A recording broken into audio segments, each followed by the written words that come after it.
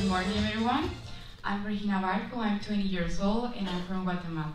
The reason why I asked for a translator is because my first language is Spanish, so I wish you could understand me. And well, we can start. Uh, I'm a law student, and the reason why I'm studying is because I want to be the voice of those who do not have one. And when I say that, what I mean is like animals in plants. And also, I would like to share my advocacy with all of you guys.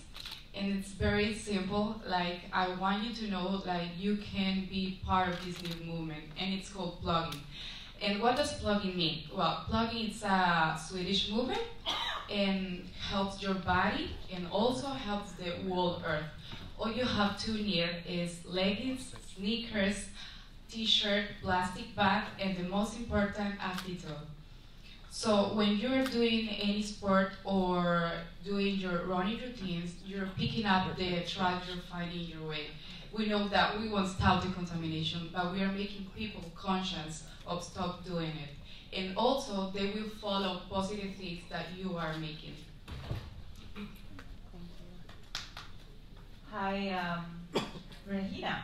You said that you want to be the voice for the voiceless. How do you think can we achieve climate justice for people?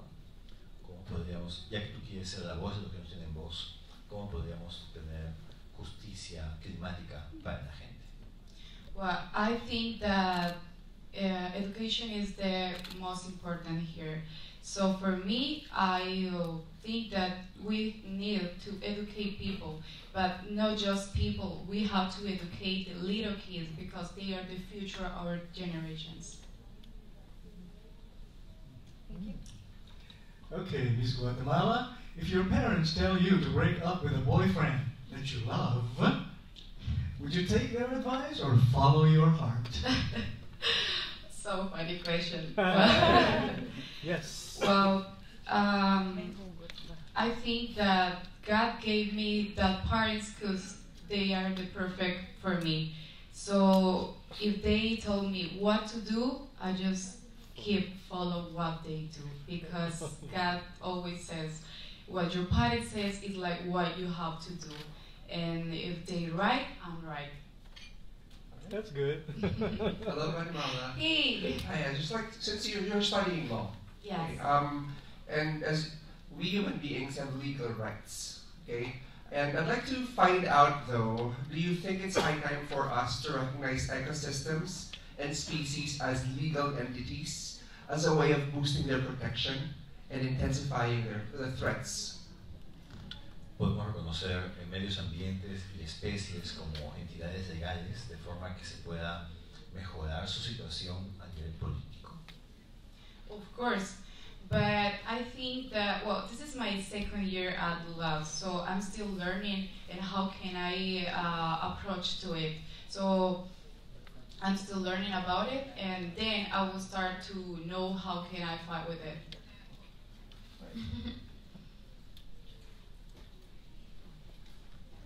Tell us more about Guatemala.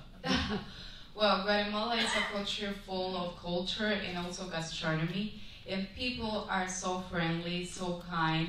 So I wish you guys you can visit my country. You will really in love and enjoy it. So and also we have different different kind of climate. If you want to go to the beach, you can go in this way, and if you want to be in another place that it's cold, you can go. There. Oh, really? Yes. So you have four seasons. Yes. Ah,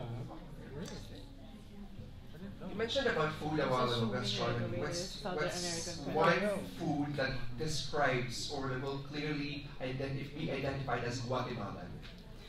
Oh, too many food. Like I don't know which one I can choose, but the most I like is called gallina and crema. Yes, I would like to cook for you guys.